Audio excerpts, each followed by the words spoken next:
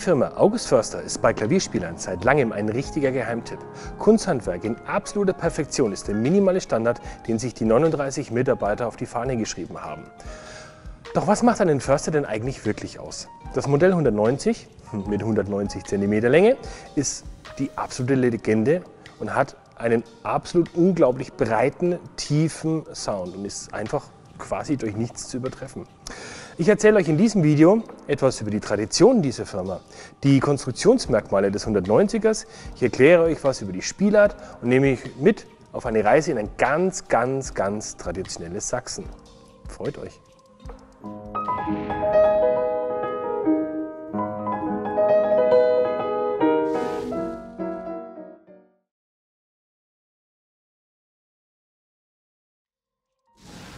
Willkommen zurück. Wenn man die Website der Firma besucht, kann man sich einen ersten Eindruck verschaffen, was der Frau Förster als Chefin eigentlich wirklich wichtig ist. Und das ist Tradition. Äh, das ist jahrzehntelanges, unter den Mitarbeitern vermitteltes und überliefertes Fachwissen. Ähm, der Produktionsstandort von August Förster ist Löbau. Das ist eine kleine Stadt in der Nähe von Bautzen. Sagen wir für euch Dresden, das kennt zumindest jeder.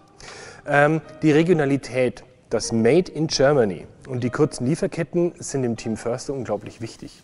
Die Firma wurde 1859 gegründet und ist ausnahmsweise endlich mal eine Firma, die älter ist wie ich.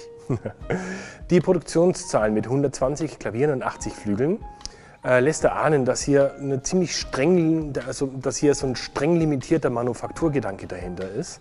Ähm, äh, Kunsthandwerk ist hier in absolut höchster Präzision zu finden. Ähm, zum Flügelmodell, das 190er Modell von Förster ist äh, quasi der Klassiker. Ähm, das ist aber, mm, ja, das ist jetzt keine Überraschung, weil 190 ist nun mal eine schöne Größe für jedes Wohnzimmer oder auch für jedes Studio.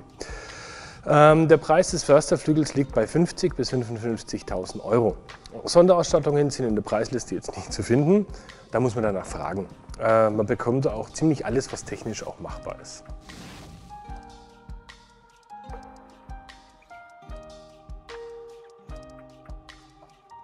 Okay, der Flügel in langweiligen Zahlen zuerst. Der Flügel ist 190 cm lang, daher kommt auch das Modell 190. Er ist 154 cm breit und hat einen Kniestock von 62 cm und wiegt 375 kg. Äh, in diesen Zahlen kann man sich jetzt noch nichts Besonderes äh, vorstellen oder erkennen. Das ist jetzt nicht irgendwas Besonderes. Was macht den Sound des Flügels derart groß? Die Mensur die hilft natürlich. Also die Mensur, müsst ihr euch so vorstellen, ist immer das Verhältnis von Seitenlänge, Seitendurchmesser und Seitenspannung. Und äh, die Mensur, die hilft dem Flügel natürlich schon, groß zu klingen. Ähm, ich habe auch äh, einen Agraffenabgriff bis zum Diskant. Äh, im, im, oberen Diskant habe ich dann einen Carbodaster. Ähm, und ich habe im Übergang vom Stahl zum Bass die, die drei Seiten, die einen Ton ergeben, sind mit ganz feinem Kupfer umsponnen. Wir Klavierbauer lieben das von Herzen zu stimmen. Aber es hilft, weil es eine sehr, ein sehr angenehmer Übergang ist vom, von der Mittellage zum Bass. Ähm, das ist schon sehr, sehr angenehm. Ähm, aber die eigentliche Größe des Resonanzbodens ähm, ist in diesem Fall die Methode schlechthin.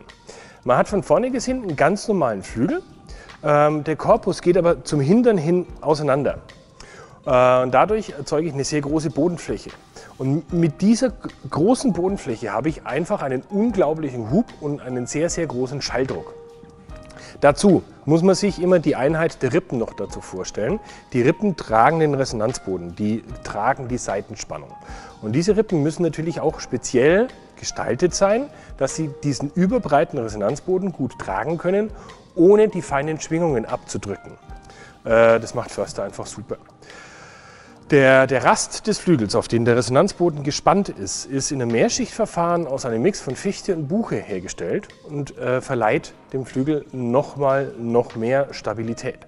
Und genau das ist es, was den Flügel ausmacht. Eine unglaubliche Stabilität und ein großer, quasi riesiger Resonanzboden, der noch dazu in einem speziellen Verfahren äh, hergestellt wurde.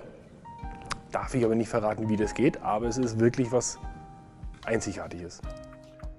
So, ähm, jetzt haben wir, äh, haben wir uns das Innere des Flügels angeguckt. Äh, vom, vom Gehäuse her ist es, äh, zieht sich die Stabilität eigentlich auch durch. Also ich habe sehr breite Seitenarme, ich habe einen Keil, der ähm, den, den, das Gehäuse ein bisschen kaschiert, damit ich das Notenpult geradeaus reinkriege. Ähm, ich habe äh, eine Klappenbremse, äh, die auch funktioniert. Und ähm, ja, ansonsten ähm, ist er sehr stabil gebaut, macht eine Aussage, sind jetzt keine großen Designwürfe dahinter. Ähm, ist ein guter, schöner Flügel, der auch was hermacht. Und als nächstes zerlege ich ihn jetzt für euch und wir gucken uns die Mechanik an.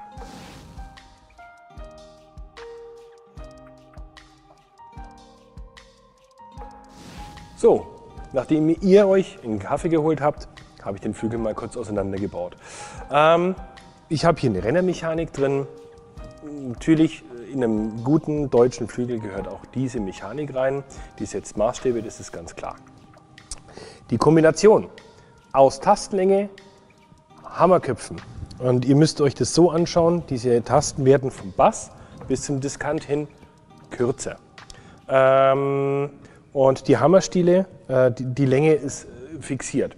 Und diese Kombination aus Tastenlänge und Hammerköpfen ist ein langjährig entwickeltes Gesamtkonzept.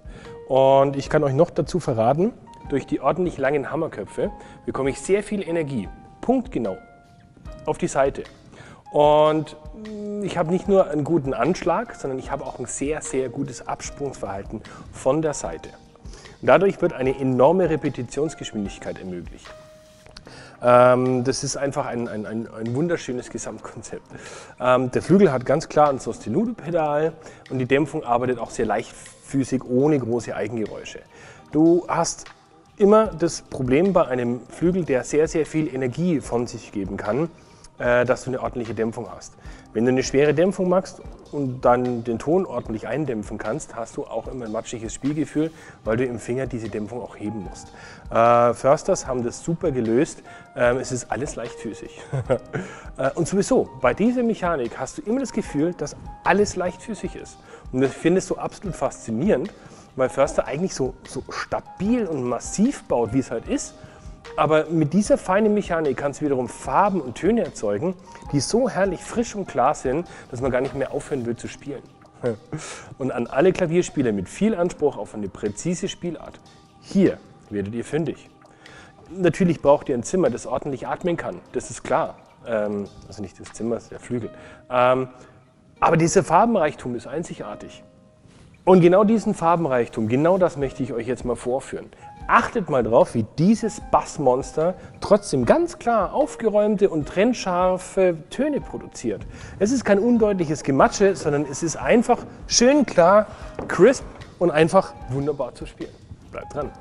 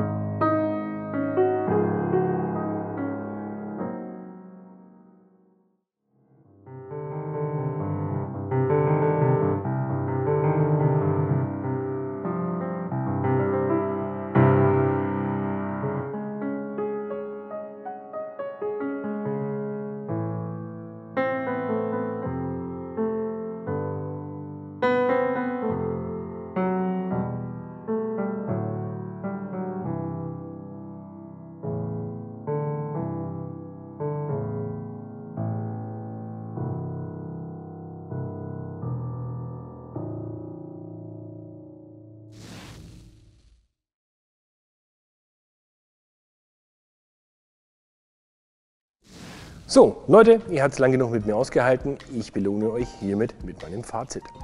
Wir haben uns heute einen Flügel angeschaut, der randvoll mit Tradition ist. Er ist aber nicht angestaubt äh, oder von irgendeiner neuen Mode im Klang oder im Spielverhalten überholt worden, sondern der ist äh, äh, State of the Art. Der ist aktuell, alles was du hören willst, alles was du konsumierst, äh, prägt dir dein Verhalten oder dein, deine Wünsche. Ähm, alles was du möchtest, das kann dieser Flügel. Der hat seinen rechtmäßigen Platz in der Klavierkultur, in der deutschen, absolut fest gesichert. Wer als ambitionierter Hobbyspieler einen Lebenstraum verwirklichen will, der kommt überhaupt nicht dran vorbei, den mindestens einmal auszuprobieren. Wer ein Arbeitsgerät braucht, das jahrzehntelang Spaß macht und zuverlässig ist, der wird hier genauso glücklich. Ähm, ich gönne diesem Flügel jedem, der ihn möchte. Ich würde aber sagen, dass ein blutiger Anfänger ohne eine Anschlagskultur ähm, wahrscheinlich etwas schnell genervt sein könnte, weil der Flügel eben halt auch ganz hochpräzise alle Fehler mit einer mächtigen Lautstärke quittiert. Du hast eine gründliche, massive und eine sehr, sehr steife Bauweise des Flügels, kombiniert mit einer unglaublich leichtfüßigen Spielart. Sowas findet man selten. Und was ganz klar ist aus, aus monetärer Sicht, wenn man einen konstruktiv ausgereiften Flügel hat, hat er einfach mit die beste Werthaltigkeit ähm, auf dem ganzen Markt. Habt ihr noch Fragen? Schreibt sie in die Kommentare. Ich freue mich über einen regen Austausch. Vielen Dank fürs Zuschauen.